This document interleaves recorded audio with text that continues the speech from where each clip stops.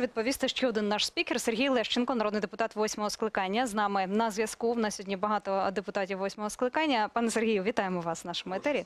Я вас теж вітаю. Як чути, видно нормально? Так, чути видно чудово. Е, Ми говоримо про кризу, яка є зараз. Ми через цю кризу насправді не про неї говоримо. Ми через неї намагаємось зрозуміти, чи є конфлікт нині по лінії Зеленський Ахметов. І е, в контексті кризи ми дивимося на те, якби не було аварій нині е, або псевдоаварій, як їх іноді натякають у владі, на ТЕС Ахметова, чи ми би могли бути впевненими у проходженні цього сезону опалювального по електриці? Тобто наскільки велика роль е, компанії Ахметова в цьому е, кризовому ситуації, кризовій ситуації енергетичній? І, власне, чи не простежується тут е, певна початок або е, початок війни або конфлікт по лінії Зеленський-Ахметов? Дякую за ефір. Я думаю, правильно казати не конфлікт Зеленський Ахметов, а конфлікт держави і Ахметова. Тому що фактично у нас такий потужний олігархічний клан, який підміняє в чомусь державу, який стає для держави загрозою. Відповідно, створює ризики для всіх громадян України, адже ці намагання Ахметова шантажувати.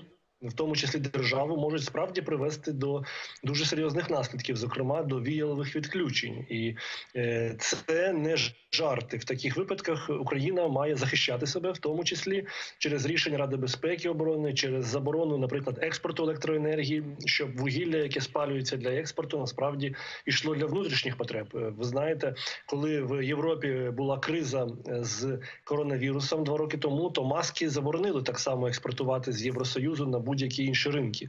Так само і тут, якщо в нас буде криза енергетична, ми маємо заборонити експортувати електроенергію і забезпечувати внутрішні власні потреби в першу чергу. А, Мене добре чути, я просто не до кінця розумію. Вас прекрасно, Сергію, чути. Супер. Так, вас чути, звичайно.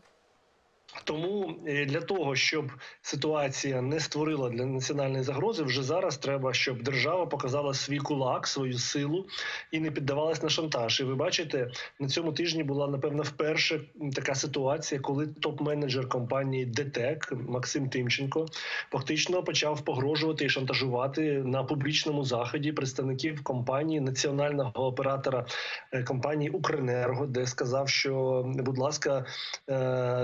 Фільтруйте базар, якщо можна так сказати, по-простому, по-народному. Тобто, або ви фільтруєте базар, або ми підемо там ледь не кудись за угол і розберемося.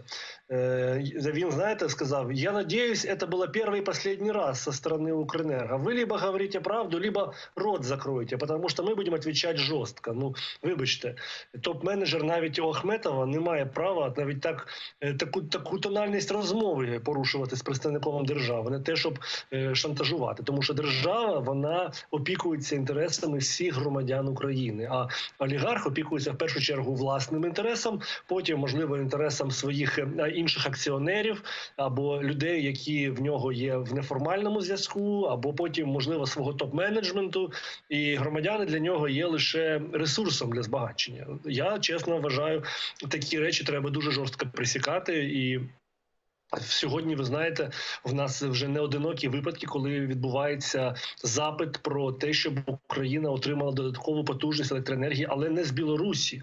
Ви знаєте, на каналах Ахметова кажуть тільки про Білорусь, що ми фінансуємо кривавий режим Лукашенка і так далі, і тому подібне. Але вони чомусь не кажуть, що набагато частіше Україна е, просить про допомогу в Словаччині. А чому вона просить Словаччини? Тому що е, є такий бурштинський острів, як правильно ви сказали, це е, області Івано-Франківська. Львівська, вони відокремлені від нашої енергомережі. Там станції теплові станції тільки Ахметова, і вони е, продають електроенергію в Словаччину. А потім вони відключають свої енергоблоки, і відповідно, коли вони їх відключають, їм не вистачає потужності навіть забезпечити внутрішній ринок свого цього острова. І тоді ми імпортуємо. І от чомусь ніхто не каже, що ж там відбувається на каналах саме цього олігарха про ситуацію на цьому острові. На цьому острові якраз ситуація буває дуже критичною, і тоді приходять зі Словаччини ця допомога. А чому це трапляється? Тому що в них енергоблоки чомусь ідуть в ремонт. Чомусь ці ремонти роблять саме в той момент, коли найгірший цей момент для такого ремонту, коли є пікове навантаження. Чомусь роблять цей ремонт, коли В нас е, знижується температура. Коли ми платимо, наприклад, в тарифі, ви знаєте, є гроші на інвестиційні програми для цих енергокомпаній. А куди вони витрачають ці інвестиційні програми? Чи вони реально вкладають в модернізацію своїх станцій? Чи вони купують чергові Так, будинки будинки в Швейцарії? ми це- це чи почули, і так далі? почули. Це, це дуже